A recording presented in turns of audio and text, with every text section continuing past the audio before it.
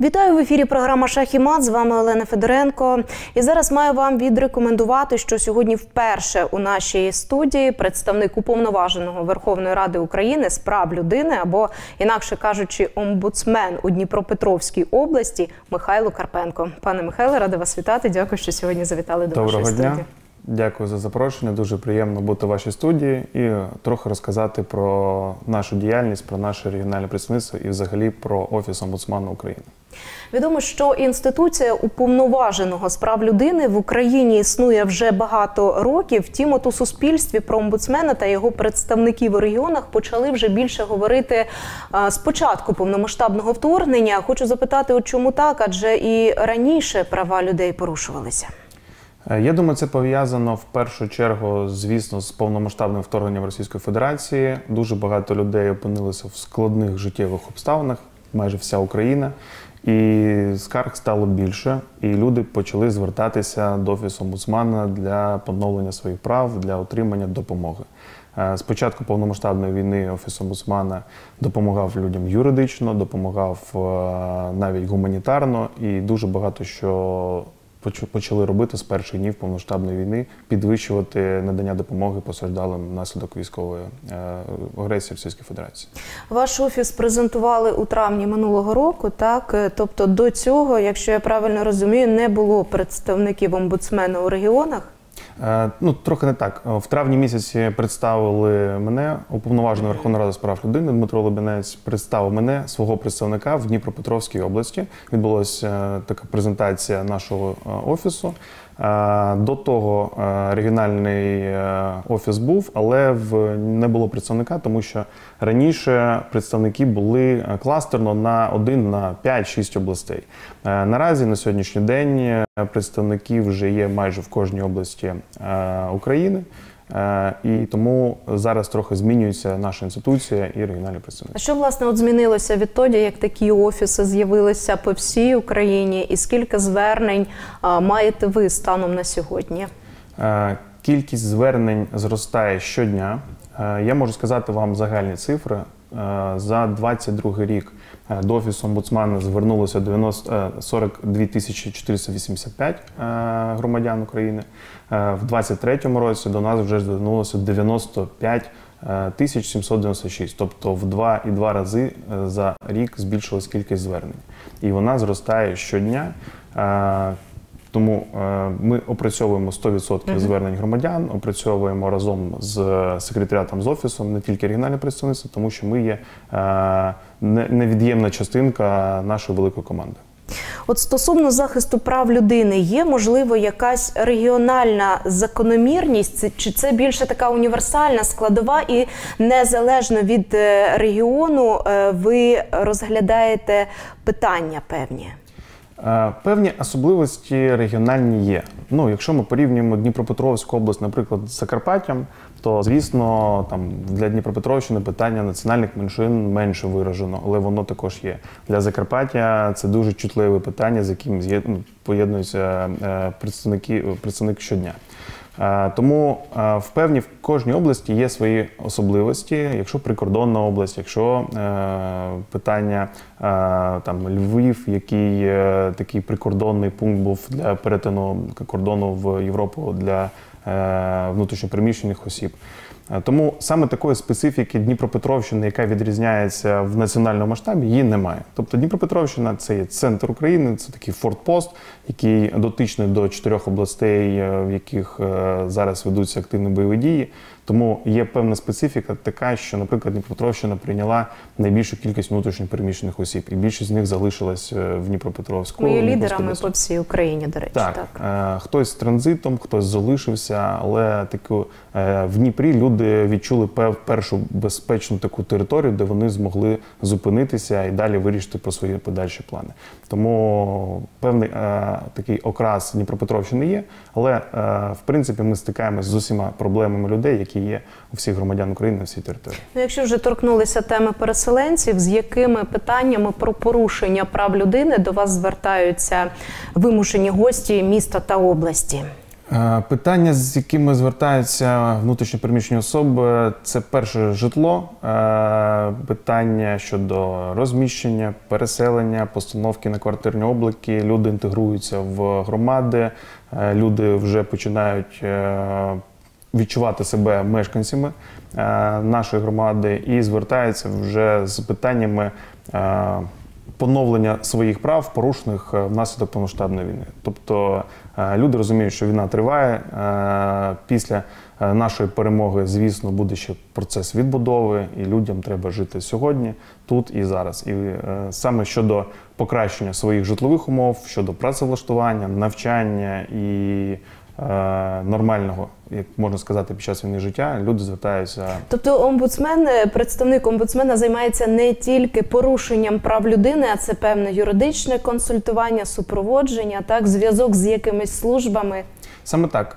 Ми надаємо юридичні консультації, ми пояснюємо громадянам, як поновити їхнє право, робимо вимоги е, звернення, е, якщо є е, підстави. Бо якщо це не наші компетенції питання, ми роз'яснюємо людині про е, алгоритми, як їй відновити своє право, до кого звернутися, чи як отримати допомогу в інших державних е, інституціях.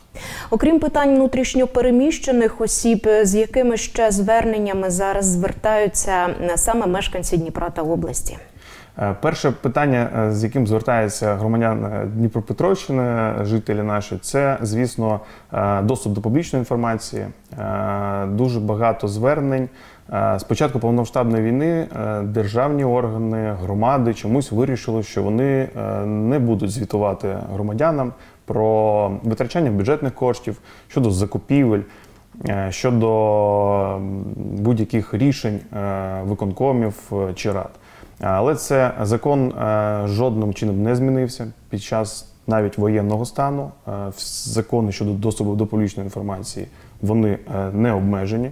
Громадяни мають право знати про те, що відбувається в громадах, які рішення приймають міські ради, територіальні громади, і в встановлені терміни отримувати відповіді від державних установ. Якщо вони не отримують відповіді, вони звертаються до нас, і ми робимо вже вимогу на державні органи щодо поновлення порушених прав, надання відповіді громадянам і е, надання відповіді нам про поновлення прав громадян.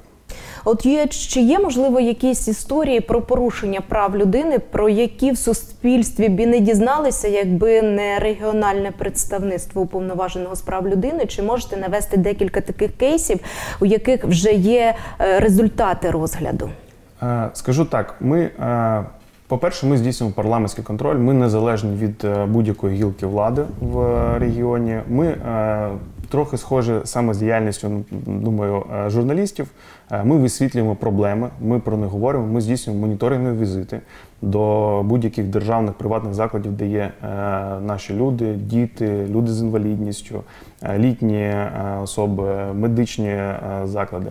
І ми висвітлюємо, робимо моніторинг і показуємо об'єктивну ситуацію щодо додержання прав е, конкретних громадян в всіх місцях.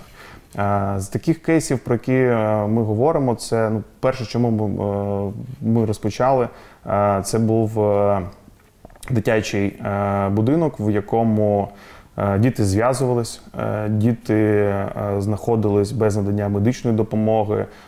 Пояснення було одне, що не вистачає рук, не вистачає сил.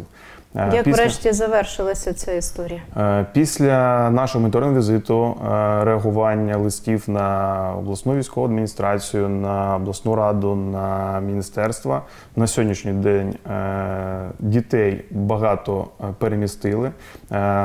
Там діти і дорослі покращилися умови. Е, Додався персонал, додались е, лікарі, яких не було по штату, в тому числі і надання психологічної допомоги. Тобто відбулося покращення, процес ще триває, ще не все ідеально як хотілося б, але е, наша задача привернути увагу до цієї проблеми, вжити заходів і покращити життя тих громадян, які того потребують. Як регіональне представництво допомагає родинам військовополонених, цивільних бранців, зниклих безвісти? Скільки таких е, звернень маєте станом на тепер? І от е, за якою самою допомогою можуть звернутися до вас родини, які шукають своїх захисників? Е, Ну, питання військових, воно його треба трохи розділити. Якщо ми говоримо допомоги сім'ям військових або військовополонених, безвісті зниклих, в першу чергу це допомога, яка є. Е, Ми допомагаємо людям отримати необхідні довідки, документи, які їм потрібні для е, набрання е, там якихось законних рішень, е, отриманням е, пільг, виплат і таке інше. Е, Якщо ми говоримо саме за родини безвісті зниклих е, військовослужбовців або е, які знаходяться в Це полоні, вже інший напрям роботи, так? так, але ми, ми проводимо е, зустрічі, саме і уповноважений е, Дмитро Лобінець постійно проводить е, зустрічі з родиною військовополонених, роз'яснюючи аспекти зміни, як відбувається е, обмін військовополоненими, як ми впливаємо на ці процеси. Хочу одразу зазначити, є координаційний штаб при Міністерстві оборони. Е, Ми входимо як е, частина в велику команду цього штабу для того, щоб ефективно обмінюватися інформацією і повертати наших героїв. Військовополонені, які знаходяться і нами верифіковані, що вони є. Е, Кожним з них е, ми обмінюємося інформацією в штабі, і ми дублюємо, обмінюємося, щоб е, жодна, е, військовополонений не залишився поза увагою. Ми займаємось тим, щоб обміняти всіх наших захисників і повернути героїв в Україну, але певні аспекти є з тієї сторони, яка не хоче віддавати наших захисників. Часто зривають ці обміни. Так, і це робиться штучно для того, щоб е, створювати негативний імідж України, державних органів і налаштовувати сім'ї проти керівництва держави, що Україна не хоче повертати своїх. А звісно, ми хочемо. Ми хочемо повернути всіх 100%, обміняти всіх на всіх. Е, І для того робимо все можливе. Але деякі моменти не нас стосуються, тому що Росія, е, як країна-агресор, веде себе, порушуючи всі міжнародні норми, всі міжнародні правила. Скільки військовополонених з Дніпра та області вдалося повернути від початку повномасштабного вторгнення, і скільки родин ще чекають на повернення своїх захисників? Скажу е, щодо питання родин військовополонених і до повернутих, ми не розмежовуємо їх на територіальному принципі. Тобто це національне питання, яким займається особисто повноважений і вся наша велика команда в е, за участю інших державних органів, Міністерства оборони, Служби безпеки України. Е, Тому е, це національне питання. Ми повертаємо всіх наших захисників, не розмежовуючи на роди військ, на якісь інші особливості. Тобто передаються списки всіх е, нам відомих е, військовополонених осіб, які навіть е, рахуються безвісті зниклими, тому що серед безвісті зниклих людей все одно ми знаходимо і повертаємо з полону наших героїв. Вони рахуються безвісті зниклими, але фактично знаходяться в полоні. Е, Зробити таку ідентифікацію ми не можемо, поки ми не заберемо е, наших захисників героїв додому. Е, Тому питання за регіональним принципом ми не оцінюємо, тому що військові частини, які захищають, вони інших різних формувань. Е, Захисники з України з Дніпропетровщини служать в різних військових частинах.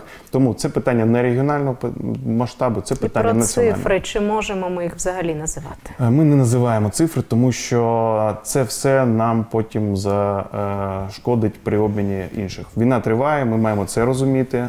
Е, Тому, поки ми не повернемо всіх наших захисників, не переможемо в цій війні, говорити про які цифри зараз не на часі. Наступна тема важка болюча тема депортація українських дітей. Чи відомо скільки їх росіяни вивезли, і чи може якось офіс омбудсмена контролювати, де ці діти, у якому вони стані, хто ними опікується? І от особисто мене дуже турбує доля державних, так званих державних дітей, яких росіяни вивозили з дитячих будинків. Е, Ну, давайте почну спочатку. Повноважений е, Верховної Ради з прав людини Дмитро Олегович Лубінець е, щодня е, займається поверненням депортованих українських дітей. На постійних міжнародних зустрічах, конференціях перше питання, яке ставить уповноважений світовому суспільству, це допомога в поверненні українських дітей додому. Е, Щодо цифр, е, можу сказати, що в щорічній доповіді уповноваженого за 22 рік е, офіційна цифра депортованих дітей з початком повномасштабної війни за 22 рік це 19 тисяч е, 582 дитини. Але це цифра верифікованих, підтверджена свідченнями документально депортованих дітей. Якою реально може бути ця цифра? Насправді ця цифра дуже жахлива, вона в рази більша. Е, Росія називає про більше 700 тисяч так звано врятованих їми дітей, які вони е, вивезли. Але ж ця інформація теж може бути перебільшеною. чи Так, не ми розуміємо, що це перебільшена цифра. е, Хочеться дуже в це вірити, але фактично ми розуміємо, що ну, на території, яка зараз не підконтрольна українській е, владі, відбуваються процеси, про які ми не знаємо. Єдина організація, яка може давати цю інформацію і має це робити, це Міжнародний Червоний Хрест, який також не володіє цією інформацією, тому що російська сторона не допускає їх до багатьох процесів, які відбуваються і інформації немає. Е, Та інформація, яка в нас є, вона більше йде від е, родичів, які знаходяться на території України, звертаються до нас. І по кожному зверненню, по кожній дитині, яка є інформація, що вона депортована, ми вживаємо всіх заходів для того, щоб встановити, в якому місті в Російській Федерації знаходиться ця дитина, в якому вона стані, і робити всі необхідні процеси для того, щоб їх повернути. І ще про державних дітей я запитала. Не знаю наскільки ця інформація відповідає дійсності, що цих дітей е, намагаються в соціальних службах якомога швидше влаштувати у російські родини, і що, начебто, саме за українських дітей ем, потенційні усиновлювачі чи ті батьки, які збираються в Росії взяти їх під опіку, отримують е, чималі кошти. Саме так. Е, По-перше, Росія е, знову чинить геноцид проти України, проти- українських дітей. Е, Дітям змінюють документи, дітям змінюють історію, змінюють,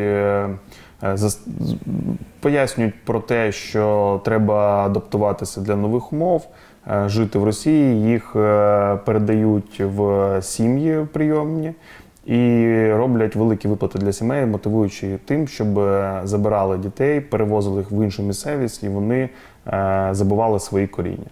І цей процес відбувається е, за міжнародним правом. Це декілька пунктів, які стосуються геноциду. Вони наразі відбуваються Російською Федерацією щодо українських дітей. Тому ми, як офіс омбудсмана, офіційно говоримо, що на сьогоднішній день Російська Федерація чинить геноцид України і українських дітей, вивозячи їх, змінюючи історію, е, розриваючи родинні зв'язки, розриваючи дітей між собою, братів, сестер е, в різні сім'ї, в різні дитячі будинки і відриваючи їх від своєї землі. Пане Михайле, от якщо вже заговорили про порушення прав дітей, е, з якими порушеннями прав дітей стикаєтеся найчастіше зараз у своїй роботі? Е, ну, якщо ми говоримо про дітей е, і звернення, які до нас відбуваються, це е, все ж таки більше батьки звертаються до нас про певні поновлення прав дітей, отримання виплат, е, отримання допомоги від держави, отримання якихось послуг, які потребує дитина. І ну, все ж таки я б хотів би зазначити, що основний аспект це повернення дітей з окупованих територій і з депортації з Російської Федерації. Стосовно навчання освітнього процесу, зараз ми бачимо, що будуються, облаштовуються укриття, е, школи і садочки відчиняють двері своїм маленьким відвідувачам. Але ж на початку повномасштабного вторгнення, е, власне, у перший рік війни діти не мали можливості відвідувати освітні заклади. Чи зверталися до вас батьки ось е, саме зі скаргами про відсутність офлайн навчання? Е, Такі звернення є. Е, Батьки звертаються про те, що е, їм хочеться, щоб діти були в суспільстві, були в інтегровані в життя і навчалися не онлайн, а навчалися офлайн. Ми всі пам'ятаємо, що до повномасштабної у нас був тривалий ковід, і діти навчалися онлайн, і процес був трохи порушений навчання. Потім почалась повномасштабна війна. Діти дуже багато дітей виїхали, і в тому числі за кордон, е, навчалися онлайн. Зараз е, родини, сім'ї, які повертаються в е, максимально безпечні регіони, які це можливо, повертаються до життя такого, можна сказати, нормального. І звісно, що батьки хочуть, щоб діти навчалися офлайн. Для того мають бути певні вимоги, які є до навчальних закладів. І ці вимоги, звісно, це укриття, тому що ракетні обстріли продовжуються. Е, Це облаштування навчання і безпекові, ну, в першу чергу, безпекові заходи, які будуть мають направлені бути на е, покращення навчання. Е, Такі звернення є. По цим зверненням ми реагуємо, направляючи відповідні листи на військову обласну адміністрацію, на міські ради, на департаменти освіти щодо виділення коштів, щодо облаштування укриттів. І цей процес триває, але звісно він е, пов'язаний з фінансуванням і він йде не так швидко, як хотілося б. Але ми знаємо про те, що заклади освітні є, які вже повно е, під час повномасштабної війни почали працювати в новому форматі, побудовані укриття, облаштовані укриття, і діти навчаються офлайн, виконуючи всі е, безпекові міркування. Ще дуже цікаво зачепити тему е, доступності маломобільних груп населення, людей з інвалідністю. Знаю, що ви е, проводите відповідні моніторинги. От які саме порушення та недоліки виявляєте, і що робите для того, щоб їх усунути? Е, Так, е, один з напрямків нашої діяльності це захист е, прав людей з інвалідністю, маломобільних груп населення. Е, Для покращення їхнього життя ми постійно робимо моніторинги, фіксуємо порушення, направляємо вимоги керівникам приватних державних установ щодо облаштування. Е, Якщо ми говоримо за людей з інвалідністю, звичайно, це питання е, пандусів, питання доступності для маломобільних груп. І це те, про що ми постійно говоримо на нарадах в обласній військовій адміністрації. Е, Маємо певну підтримку, збираємось постійно з громадськими правозахисними організаціями, е, які нам говорять про ті кричущі е, порушення прав людей з інвалідністю або маломобільних груп. Е, Взаємодіємо з ними, е, привертаємо увагу міжнародних партнерів. Чому? Тому що е, ми розуміємо обмеженість фінансування наших бюджетів, але міжнародні партнери, донори на наші прохання завжди допомагають і виділяють кошти щодо облаштування там загальних місць, місць відпочинку, будинків багатоквартирних. Саме своїми силами допомагають покращувати і трохи прибирати е, ці бар'єри для людей, і щоб е, всі люди з інвалідністю могли відчувати себе повноцінно і жити повним життям. Е, Пане Михайло, ось окрім таких серйозних звернень про порушення прав людини, чи бувають скарги? Ну там на кшталт, я не знаю, сусіди затипили, чи великі платіжки, чи в мене на лавочці люди голосно розмовляють. Адже по суті це теж порушення прав людини. Чи реагуєте ви на такі звернення? Дякую за запитання. Це таке болюче питання, скажу чесно. Е, До нас звертається дуже багато людей зі своїми проблемами, і дуже багато проблем е, такого характеру, які е, люди придумують собі самі. Е, Але е, приходять і требують від нас, щоб ми вживали заходів щодо поновлення їхніх прав. Ну людина ж по суті розуміє, що її права порушують. Вона в цьому переконана. Так, е, саме так, але е, ми роз'яснюємо людині про те, чим можемо ми допомогти в цій ситуації, або е, до якого органу їй треба звертатися щодо поновлення цих прав. Е, Де люди приходять з дуже дивними там побажаннями. Наприклад, Е, До нас приходять люди, говорять про е, те, що ну, мене здорові люди говорять про певні всесвітні проблеми щодо проблем е, таких від сусіда, який облучає, і людина не може да, повноцінним життям жити, хоча фактично там у людини немає сусідів. Е, Таких, які були поруч, е, там не реагування на якісь там вимоги. Е, До мене звернулася одна жінка, говорила про порушення її прав, що в місті Дніпрі створена корупційна схема, коли контролери і кондуктори в змові, контролер, кондуктор не бере оплату за проїзд. В громадському транспорті, причому це її така стала позиція, і чекає, поки контрольор е, здійснить штраф е, вже цієї особи. ну ви перевірили ц- цю Е, Так, схему? так. Ми, звісно, наявність ми- корупційних ми, ми, ризиків. Ми зробили відповідні реагування. Звісно, що ця інформація не підтверджується і і несе виключно індивідуальний характер. Але таких звернень багато, і проблема в тому, що такі, такі звернення нас відволікають від нашої основної діяльності. Тому що у нас обмежений штат, ми розуміємо обмеженість е, часу е, кожного з нас, і е, час зараз дуже швидкий. Процеси відбуваються інтенсивно, і ми хочемо допомогти якомога більшої кількості людей. А звісно, такі звернення нас відволікають від нашої основної діяльності, і ми не можемо допомогти більшій кількості людей, яким ми можемо допомогти, які цього потребують, але фактично просто наш час витрачається на те, щоб е, пояснити людині, що це не є е, серйозне порушення її прав, а ну, є певні елементарні е, моменти, які можна вжити і жити повноцінним життям після цього порушення. Пане Михайле, небагато залишається ефірного часу. То що необхідно зробити, щоб ви взялися за звернення? Е, Ми розглядаємо 100% звернень, це позиція уповноваженого. Всі звернення, е, які направлені на нас, ми їх розглядаємо і надаємо письмову відповідь всім заявникам. Тобто 100% звернень е, ми розглядаємо. Звертатись до нас можна е, або гарячою лінією, або скринькою hotline собачка ombudsman.gov.ua, е, або особисто прийти до нас на прийом. Ми зараз знаходимося поруч з студією на місті Дніпро, вулиця Старокозацька, 52, офіс 136. Е, Є наш регіональний номер телефону, по якому до нас може звернутися е, 073 107 70 70. Е, Всі звернення, всі до нас візити ми опрацюємо, зустрічаємося з людьми, слухаємо їхні проблеми і по всім питанням даємо роз'яснення та допомагаємо.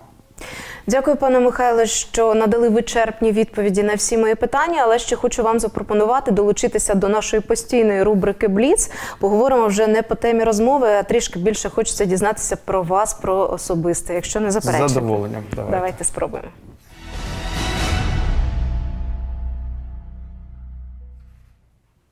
Особисте життя і кар'єра. Чи є у вас якісь е, особисті стратегії для збереження балансу між ними? Ну, я думаю, особисті стратегії, як і у всіх, це спілкування з близькими, з родиною. За те, спорт. щоб все встигати і на роботі, і з родини. Так, так. Ну треба знаходити в цьому баланс, тому що навантаження йде велике. е, Спілкування з людьми і допомога людям це такий складний процес, тому що постійно ти переживаєш кожну біль, кожну проблему, і це все, звісно, відображається на ментальному здоров'ї е, мене і моїх працівників. От, до речі, у більшості випадків люди йдуть до вас зі своїми проблемами, зі своїм горем. Е, Як вам вдається допомагати людям і при цьому емоційно не вигорати?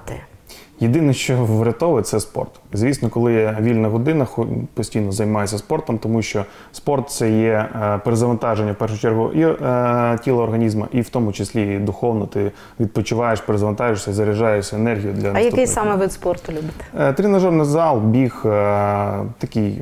Головне якесь отримати фізичне навантаження для того, щоб переключитися. Знаю, що ви все професійне життя працювали у службі безпеки України. От що мотивувало вас кардинально змінити сферу роботи? Так, справді я е, з курсантських років е, навчався в військовій академії, був співробітником Служби безпеки України, військовий. Е, до травня минулого року я був на оперативних керівних посадах Служби безпеки України в Дніпровській області. Е, чесно скажу, е, я дуже дякую Службі безпеки за той досвід, який я отримав. е, за ті моменти, уроки навчання, які я пройшов, ту школу, яку я пройшов. І коли стало питання щодо захисту прав людей в Дніпровській області, враховуючи свій досвід, я одразу погодився для того, щоб витрачати е, в тому числі накопичене для допомоги іншим більш ефективно, тому що е, більше інструментів і механізмів саме є на цій посаді, е, саме будучи представником уповноваженого в Дніпровській області. А от чи є щось таке нове для вас, що стало, скажімо так, відкриттям у правозахисті? От зараз вже на новій посаді. Ну, я вам скажу чесно, е, нового нічого такого я не дізнався, тому що в принципі діяльність служби безпеки направлена на захист прав людей, і в і зараз офіс омбудсмена займається цим. Для мене е, стало більше інформації про те, скільки е, громадських організацій, скільки небайдужих людей, правозахисників, е, в тому числі займаються тим, що присвячують своє життя покращенням життя людей. Для мене це було дивно, тому що дуже багато людей, волонтерів, просто благодійників займаються тим, що покращують життя нужденних людям, яким це потрібно. Це дуже Скажіть, будь ласка, чи є у вас якісь е, е, особисті ритуали чи звички, які от вам допомагають у щоденному житті? Ну, я скажу так, мені здається, що у кожної людини є якісь такі моменти, їх вони пов'язані, вони всіх однакові. Ми живемо в е, найкрасивішій країні, е, чекаємо нашу перемогу. Просто треба підняти очі в небо, подивитися на небо, зрозуміти, що ми е, в себе вдома, ми заряджені всесвітом, і в нас є один шлях це шлях до перемоги бути щасливими. Дякую вам за цю розмову. Дякую за погляд у перспективу. Зараз дійсно це дуже важливо. Я нагадаю, сьогодні в гостях у студії був представник уповноваженого Верховної Ради України з прав людини Михайло Карпенко. Дякуємо, що нас дивилися. До зустрічі у наступних випусках.